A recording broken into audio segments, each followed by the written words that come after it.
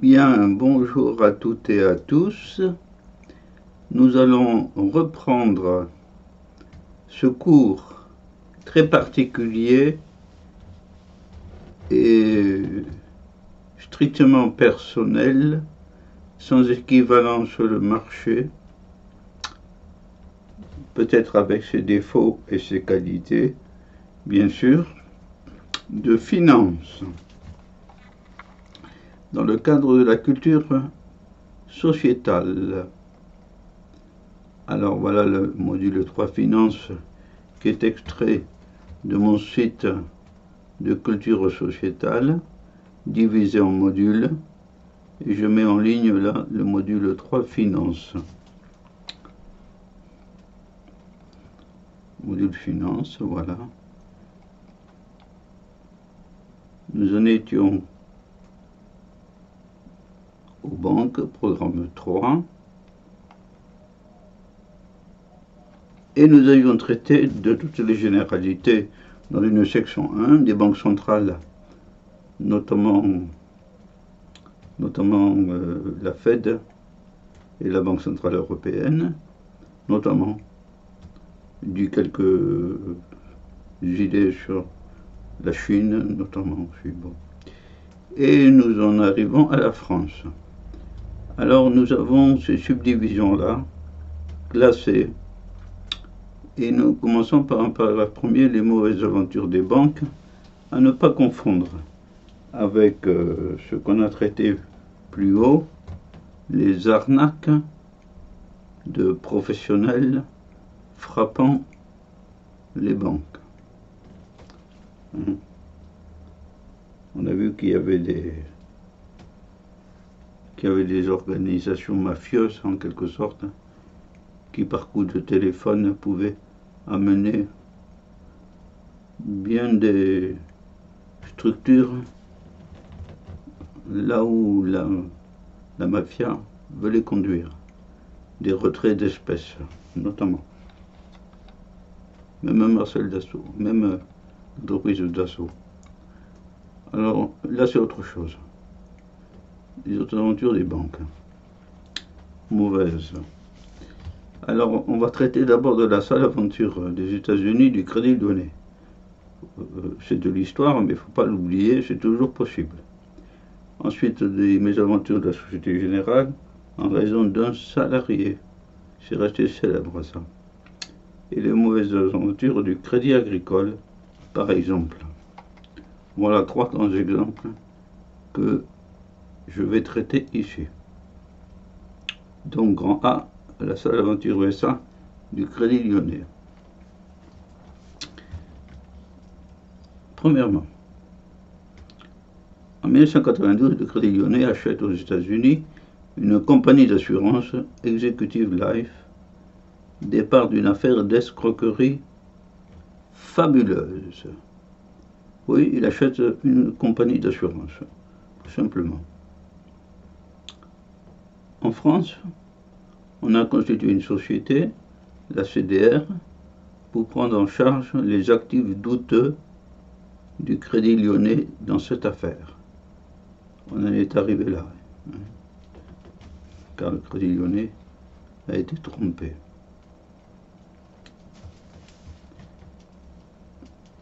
Troisièmement, USA, 2005.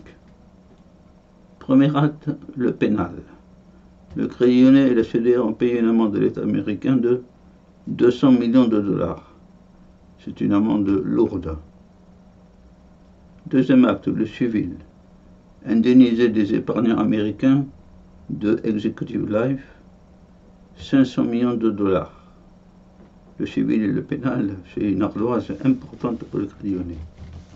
Note au passage sur les avocats. White and Case regroupe euh, beaucoup d'avocats dans 26 pays. Beaucoup. Hein? White and Cage. Et puis les avocats se partageront 150 millions de dollars, presque autant que l'amende. Oui. oui. C'est des, des fortunes qui se bâtissent. Grand B, les aventures Société Générale en raison d'un salarié.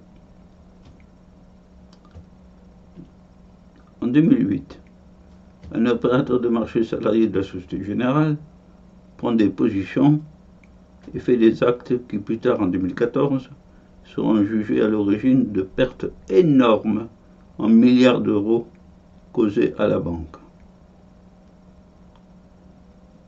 Pertes énormes, en milliards d'euros.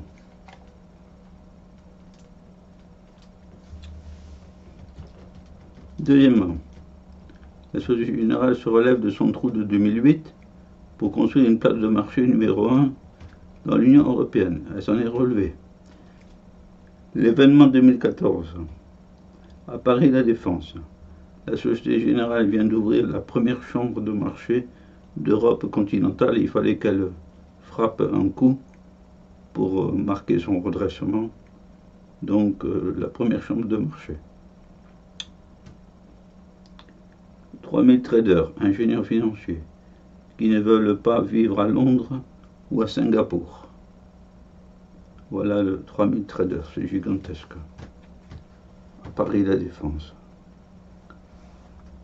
Il y a des salles de réunion, car le métier repose sur la communication. Il n'y a pas de salle de gym, comme chez les anglo-saxons. Des corbeilles de fruits et le café Starbucks. Donc corbeille de fruits et café. Le temps est passé de la gloire de Lehman Brothers, Lehman Brothers pardon, Goldman Sachs, JP Morgan en 2006. Oui. Oui, oui, oui. Mais bon, le Société Générale a frappé un grand coup. Grand C, les mauvaises, affaires du Crédit Agricole en 2015. Premièrement, malédiction de l'huile d'olive. Le Crédit Agricole est toujours frappé par l'étrange malédiction de l'huile d'olive. C'est une affaire ancienne euh, qui a lourdement grevé le Crédit Agricole, qui traîne après lui comme euh, bah, une malédiction. Deuxièmement, en 2012, il a cédé sa filiale grecque, Import Bank, à son rival grec, avec la banque Afra Bank. Il a perdu 9 milliards d'euros. C'est gigantesque. 9 milliards d'euros. Et maintenant au Portugal. En 2014, c'est sa position au Portugal qui lui coûte cher aussi dans la Banco Espirito Santo. Là, il n'y a pas le chiffre, mais c'est cher aussi, en milliards. Donc le Crédit Agricole a décaissé massivement. Quatrièmement, les difficultés internes. Toujours pour le Crédit Agricole. La fête du Crédit Agricole peine à trouver sa place face aux puissantes caisses régionales, lesquelles sont ses propriétaires. C'est vrai que le Crédit Agricole a une histoire très particulière, normalement issue à l'origine des agriculteurs, et très vite euh, passant aux mains de super agriculteurs en quelque sorte, euh, les, les, caisses régionales. Bon. petit B. On ne sait pas très bien non plus qui prend les décisions au Crédit Agricole. On ne sait pas très bien. Autrement dit, on ne sait pas qui prend les décisions. Ensuite, une banque, c'est une banque de, de, détail avec un réseau de 9000 agences. C'est beaucoup. C'est une banque de détail. Est en contact avec les agriculteurs, mais pas que les agriculteurs, bien sûr. Voilà.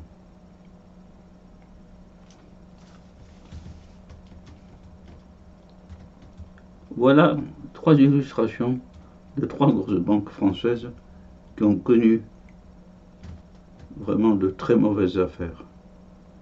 Voilà. Nous allons passer dans la vidéo suivante à une notion d'histoire récente la rentabilité des banques. On verra en 2006 un, record historique de profit.